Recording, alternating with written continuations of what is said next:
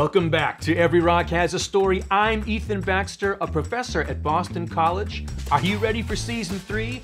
Well, buckle up, because this season we're taking our show on the road.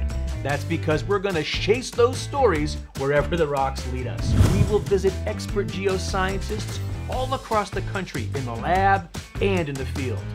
Eight new episodes, eight new co hosts, eight exciting locations, and eight stories that will blow your mind.